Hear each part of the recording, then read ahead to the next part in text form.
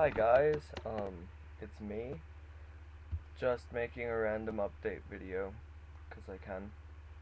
Haven't posted anything up in a while, so, yeah.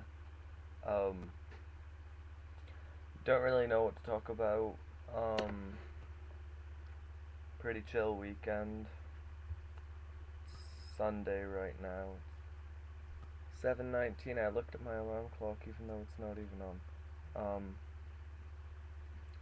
my ribs kind of hurt because work. That, I know it looks pretty wimpy, but it really hurt.